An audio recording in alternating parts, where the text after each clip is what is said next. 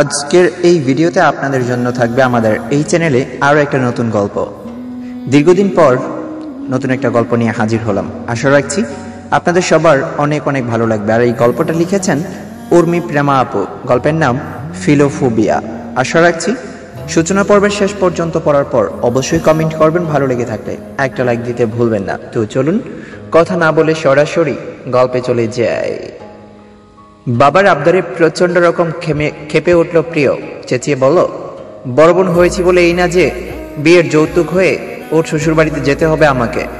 জাফর রহমান বিরক্তির ভঙ্গিতে বলল, আহা, যৌতুক হয়ে যাবি কেন? তোর জন্য তাদের বড় ছেলের সম্বন্ধ এসেছে। বলেছে? কি বলেছে?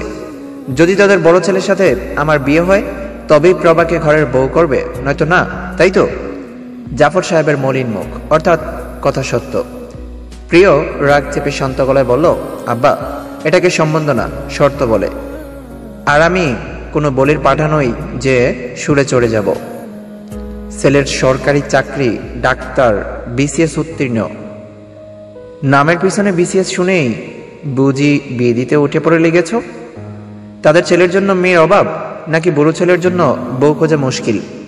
মেয়ের তিক্ত বলিতে জাফর সাহেব হকচকিয়ে উঠলেন। কি বলা উচিত বুঝতে পারছেন না তিনি। খাবার টেবিলে পিন পতন নিরবতা, মুখোমুখি চেয়ারটায় বসে আছে প্রভা।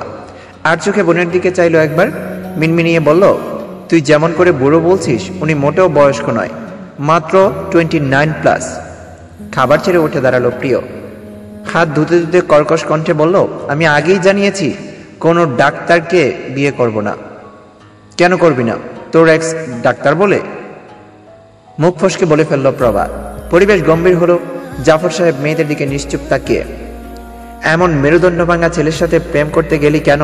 যার বউ হতে হলে শর্ত মানতে হবে পরিবারের? প্রভা তেতে উঠল এবার। আর মানে বিরুদ্ধে কোনো কথা শুনবে না সে। মানুষটা তাকে কত ভালোবাসে।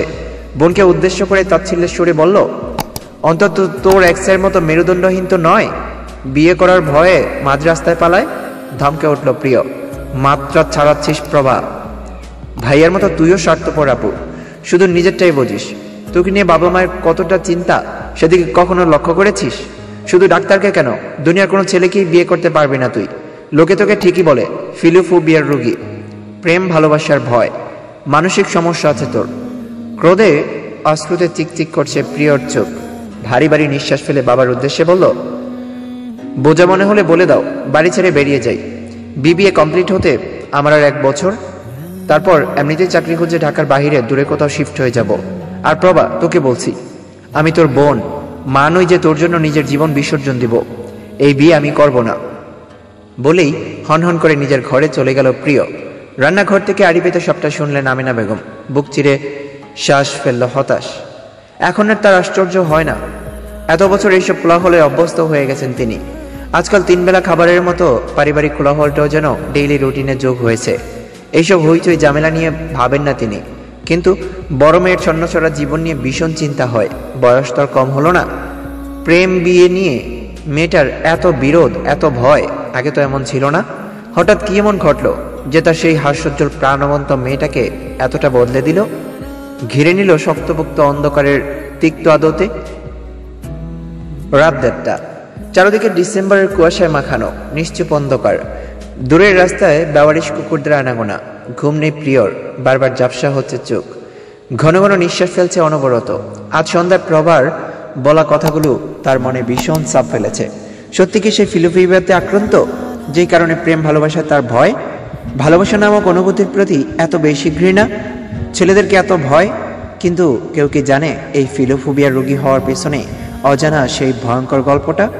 চোখের আড়ালে বুকে বিঁধে থাকার নির্মম ধারালো সত্যটা আচমকায় চোখের সামনে পুরনো স্মৃতির দ্বীপ জ্বলে উঠল। আবছা করে খুব পরিচিত একটা মুখ ভেসে উঠল। ফিসফিসে কিছু বলল, স্মৃতির পাতা উল্টে গিয়ে থামালো কোনো এক ডিসেম্বরের বিকেলে। অতীত। দুই বছরের শুরুটা বড় আপার বিয়ে নিয়ে যতটা আনন্দ উল্লাসে হয়েছিল, শেষটা ঠিক ততটাই বিষণ্ণতায় ঘেরা ছিল। সংসার জীবনের মাত্র আট মাসের মাথায় আপার ডিভোর্স। তারপর সমাজের কটু কথা আর ডিপ্রেশনে হাঁপিয়ে গিয়ে গলায় দড়ি দিয়ে দি সুইসাইড শুনতে যতটা সহজ শোনাচ্ছে। ঘটনাটা ঠিক ততটাই জোরদার আঘাত করে গেছে প্রিয়র পরিবারকে। চোখের সামনে নিমিশেই যেন সব শেষ। সকালে ঘুম ভাঙার পর মাথার উপর নিজের সবচেয়ে কাছের মানুষের জ্বলন্ত লাশ দেখে সহ্য করতে পারেনি প্রিয়। ঘটনাটি প্রিয়র ছোট্ট মনে সাপ ফেলে যায় ভয়ঙ্করভাবে। সেদিন থেকে ডিপ্রেশন প্যানিক অ্যাটাক হয়ে গেল নিত্যদিনের সঙ্গী। দিন দিন অবস্থা খারাপ থেকে আরও খারাপ হচ্ছিল। প্রিয়র এমন অবস্থা দেখে বড়কালা আয়েশা বেগম সিদ্ধান্ত নিলেন, প্রিয়কে তার সঙ্গে ইমানদিনী ইমানদিপুরে নিয়ে যাবেন। শালির প্রস্তাবে অমত করলেন না জাফর সাহেব। বড় শালির উপর যথেষ্ট ভরসা আছে তার। শিক্ষিকা মানুষ, তার কঠোর নজরে দাঁড়িতে মেয়ে পথভ্রষ্ট হবে না। তাছাড়া ডাক্তার বলেছে, পরিবেশ বদল হলে ধীরে ধীরে মেয়ে স্বাভাবিক হবে। ছোট্ট মেয়েটা যথেষ্ট স্ট্রং আর ছোট্ট। মেজ মেয়েটা বরাবরই কোমল, সবে কৈশোর কাটিয়ে যৌবনের দিকে পা বাড়িয়েছে। মানসিক চিন্তাধারার বিকাশ ঘটেছে। বড় বোনের মৃত্যুর সময় একমাত্র সেই পাশে ছিল। সেই থেকে অনুতপ্ত অনুশোচনায় মানসিকভাবে অসুস্থ হয়ে পড়েছে। মেয়ের ভবিষ্যৎ আর মানসিক অবস্থার কথা চিন্তা করে শোকের ছায়া থেকে বেরিয়ে কঠোর সিদ্ধান্ত নিলেন জাফর সাহেব। এইসব জামেলার মাঝে মেয়েকে আর রাখবেন না। বরশালীর সাথে ইমানদিপুরে পাঠাবেন, সেখানে খালার কাছ থেকে পড়াশোনা করবে প্রিয়। ডিসেম্বরের পাঁচ তারিখ, বাবার কথা মতো দুপুরের পরপরই বড়খালার সাথে ইমানদিপুরের উদ্দেশ্যে রওনা হলো প্রিয়। অনেক দিন পর বদ্ধ ঘর থেকে বেরিয়ে প্রশান্তির শ্বাস ফেলল। গাড়ির জানালায় মাথা হেলিয়ে দূর নবমণ্ডলের পানে চেয়ে এলো হিম হাওয়া দুলছে অবাধ্য কেশ। অলস্যে লেগে আছে, আসছে চোখ। শীতকালের বিকেল পাঁচটা বাজতে না বাজতে চারিদিকে অন্ধকারে তলিয়ে যেতে শুরু করে। দীর্ঘ জ্যামজট কাটিয়ে তিন ঘণ্টার মাথায় গন্তব্যে পৌঁছলো। মিচমিচে কালো পিচ ঢালের রাস্তা ধরে গলির শেষ মাথায় দোতলা বাড়ির সামনে গাড়ি থামলো। এটা প্রিয়র নানা বাড়ি। মায়েরা তিন বোন, নানা নানি, বড় খালা থাকতেন এই বাড়িটায়। ছোট্ট খালা পরিবার সহ দেশের বাইরে সেটেলড ছোট্টবেলায় মায়ের সাথে এখানে আসা হতো খুব। নানা নানি মারা যাবার পর তেমন আসা হয় না আর। শেষ এসেছিল দুই বছর আগে বড় আপার সাথে গ্রীষ্মের ছুটিতে। পুরো এক সপ্তাহ ছিল। দু বছর এখন রাস্তাঘাট পরিবেশ অনেক কিছুই পাল্টেছে। আজ বড় আপা থাকলে দিনটা নিশ্চয়ই অন্যরকম হতো। হঠাৎই বড় অপার কথা মনে করে প্রিয়র মুখটা মলিন হয়ে এলো। আহা, টলির চাকা ভাঙবে, আসতে নামাও। বড় কলার আওয়াজে ঘোর কাটলো। ড্রাইভার ট্যাক্সি থেকে ব্যাগপত্র নামাচ্ছে। প্রিয়র হাতে চাবি ধরিয়ে দিয়ে খালা বলল, যা গিয়ে দরজা খোল, আমি ব্যাগপত্র নিয়ে আসছি।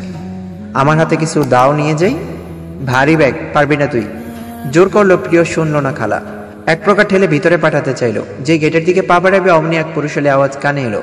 ছেলেটা খালাকে সালাম দিয়ে জানিয়ে বললেন, কেমন আছেন? ওয়ালাইকুম আসসালাম, ভালো। তোমার কি খবর? ভালো। অ্যাডমিশন টেস্টের প্রস্তুতি কত দূর? এই তো চলছে। কোথাও গিয়েছিলেন? হ্যাঁ ছোট বোনের বাড়িতে। ছেলেটা ব্যাগপত্র দেখে বলল, সাহায্য করব? তার দরকার নেই, আমরা পারব। কোথাও যাচ্ছিলে নাকি? হ্যাঁ মনের মাথায় বাবার সমাবেশ। একদিন বিকেলে সময় করে এসো, চায়ের আড্ডা দিব, আসব। একগাল হেসে ছেলেটা চলে গেল। ছেলেটা কিছু দূর যেতেই খালা বলতে শুরু করল, জানিস প্রিয়, ও আমাদের পাড়ার সবচেয়ে ব্রিলিয়ান্ট ছেলে, আমারই ছাত্র।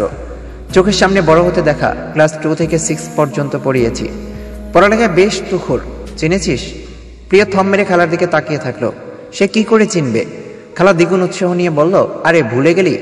সেইবার গ্রীষ্মের ছুটিতে এসে মেলায় হারিয়ে গেলে একটা ছেলে তোকে খুঁজে এনেছিল, শতাব্দ। ওই তো সেই শতাব্দ। প্রিয়র মনে পড়ল, এই লোকটাকে কি ভোলা যায়? সেদিনের ধমকের কথা আজীবন বলবে না সে, কোনো দিনও না।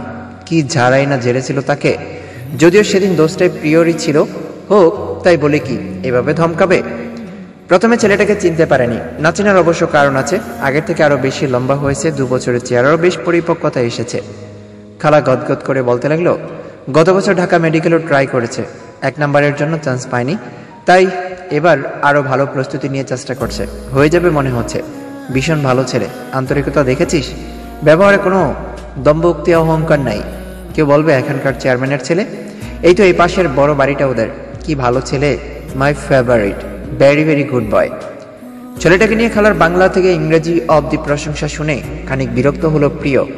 এতটা পথ জার্নি করে ছেলেটার প্রশংসা শুনতে একদম ভালো লাগছে না তার। বিরক্তিতে মুখ করে বলল, বাবা চেয়ারম্যান, এত টাকা, ঢাকা মেডিকেলের চান্স পাওয়ার জন্য ঘুরছে কেন? কোনো প্রাইভেট হাসপাতালে পড়লেই পারে।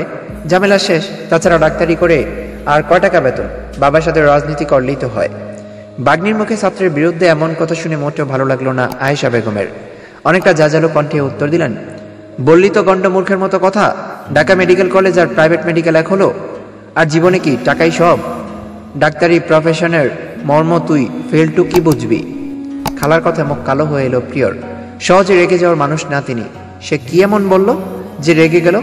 তার প্রিয় ছাত্রের বিরুদ্ধে বলেছে বলেই কি? ব্রোকোচকে দূর কুয়াশাচ্ছন্ন রাস্তায় হাঁটতে থাকা মানুষের দিকে তাকালো একবার। কালো হুডি পকেটে হাত। বে- বেশ হাঁটছে। মানুষটা কি জানে? তাকে নিয়ে এখানে ছোটখাটো যুদ্ধ হয়ে গেল এখন?